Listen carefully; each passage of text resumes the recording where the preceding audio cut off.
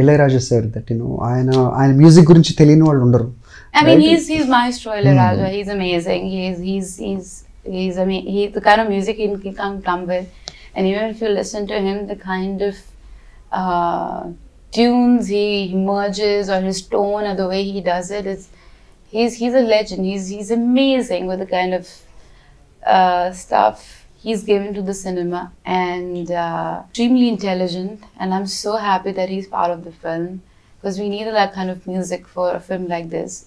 Sujana wrote this film literally like in one night, and then that's how she, she claims to be. And it's a very, very, very beautiful film. There are actually three stories that kind of intervene. Yeah, in that's what I was about to ask. Yeah. And But do they do they uh, merge together at one point? That's the beauty of it. And then they are all very beautifully written.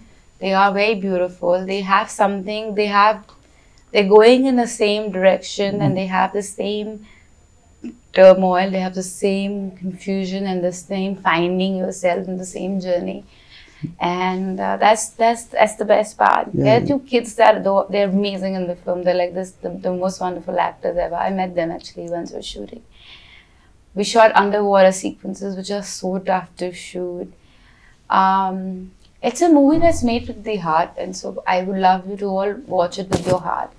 And uh, if please love the film. uh, it's my first film that's coming out after the lockdown, so you know we all are like. But tell us that this is not. I mean, this is the first movie, but it goes on. It will go on, but you know, right now I, I feel like the same nervousness you felt when your films came out before August. what is the secret of the beauty as it goes on? Like you know, it is never in a diminishing line.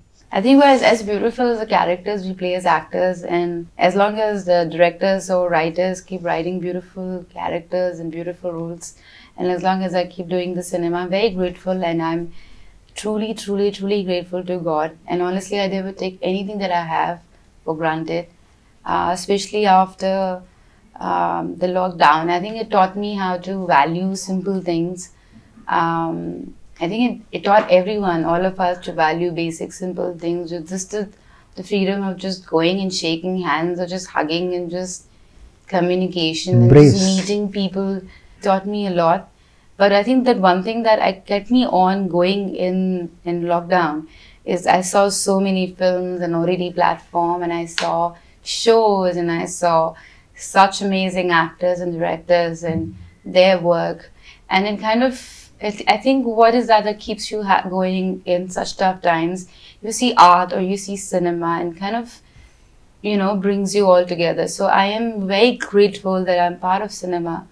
And I'm very grateful that I have I'm part of some stories which somewhere maybe have made you all happy. And I hope to keep doing that. And uh, I'm very happy and blessed that uh, that in this journey I met some really amazing people and uh, I have Radha now and uh, I'm just super grateful thank you Thank you so much, Shriya. Thank you. Thank you. It's uh, really uh, fun, like you know, having you on the interview. Thank you so much. We wish you to keep going, and you know, thank you so much for being with us.